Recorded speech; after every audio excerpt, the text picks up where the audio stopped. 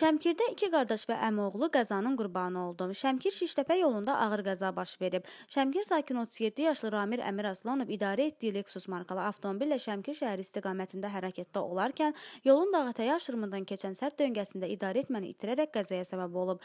Hadisə zamanı sürücü və onun əmisi oğlanları 43 yaşlı Habir Əmir Aslanov və qardaşı 47 yaşlı Şahin Əmir Aslanov həlak olub. Faktla bağlı Şəmkir rayon polis şöbəsinin istintaq bölməsində araşdırma aparılır.